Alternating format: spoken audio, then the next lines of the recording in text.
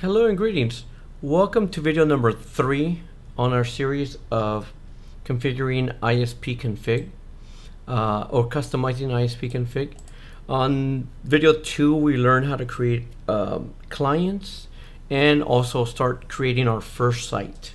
So now um, we already start managing our site, but before that, we have to set up our DNS. So excuse me. So I'm gonna open my Google Chrome and HTTPS. There it is. And you know what? Just I'm gonna save it so um, local. So that way, as the we go through a series, we we won't have to be uh, asked so many so many times. So okay, so that's done. Let me log in.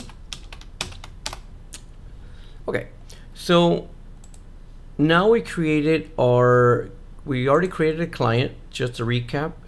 We already created a site. Here it is. It's called ispconfig-tutorial.net. Now we're ready to start, you know, the machines don't really know what's going on.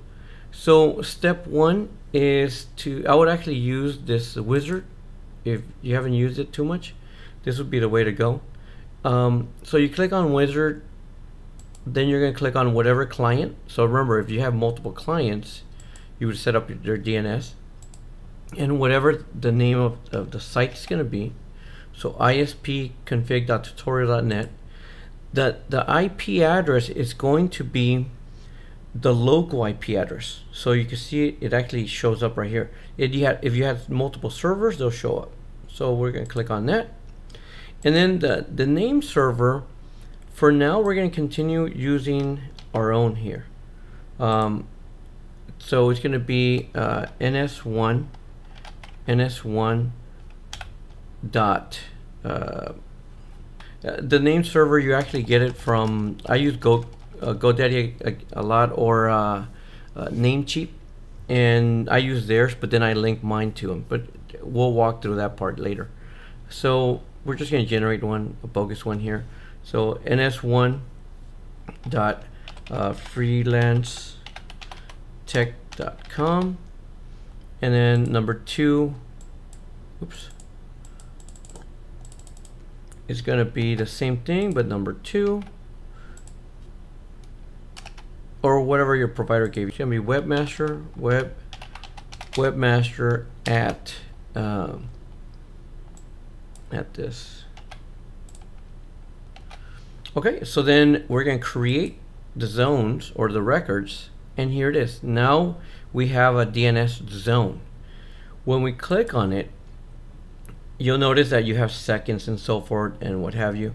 This you don't have to touch too much. Um, what you're going to do is you're going to go to records and this is where you're going to start managing.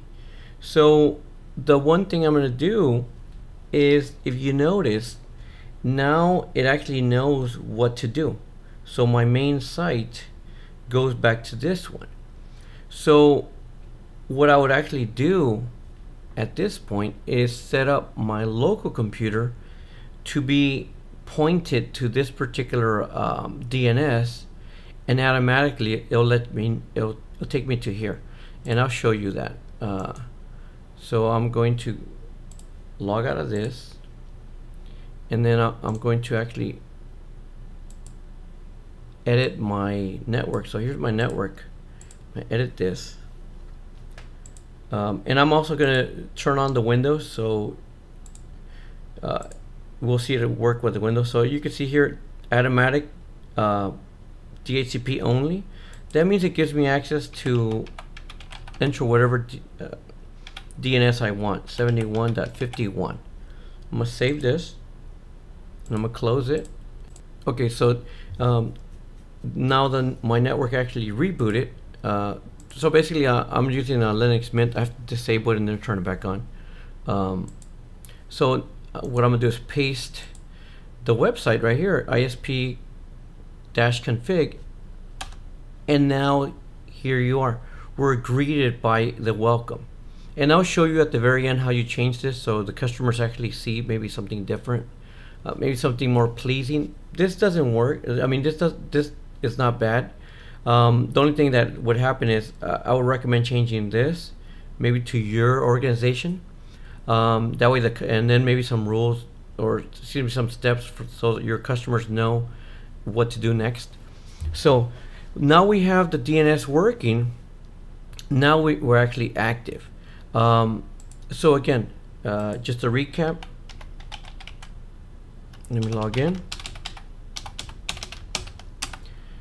So again, remember, we've already set up a client, we've already set up a site, and now we skip the emails. You notice how I went straight to the DNS and set up a DNS.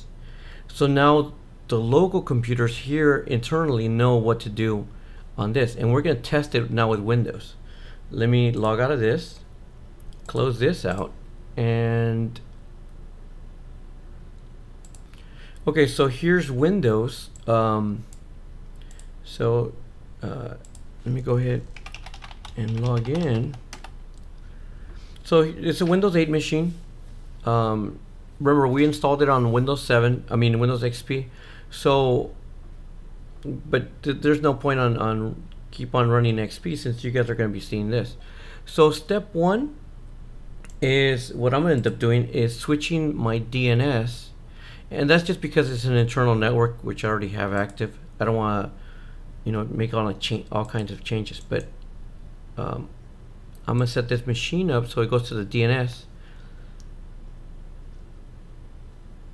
and version 4 actually I don't have version 6 so I'm gonna, so I'm gonna use the following DNS which is going to be 199.168.71.51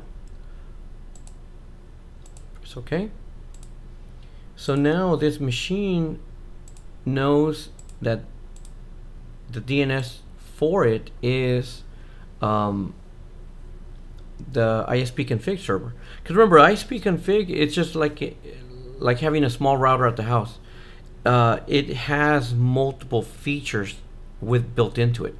Uh, router is actually your router, obviously. It's a DHCP server. It's a DNS server for some cases. So it does way more than just your typical.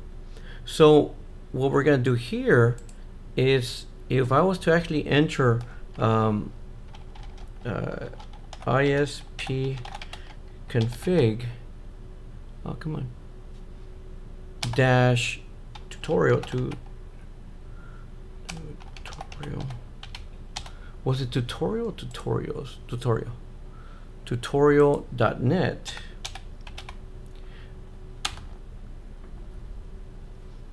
Then it should be greeted by the welcome.